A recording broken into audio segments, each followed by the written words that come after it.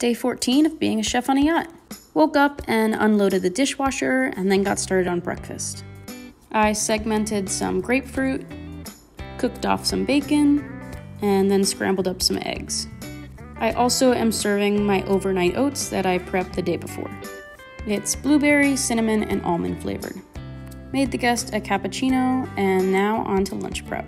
The guests are now on a no carb diet, so I'm making zoodles with scallops. For the sauce, I'm putting in some lemon, white wine, and butter. Give the zoodles a quick toss in it and plate it up.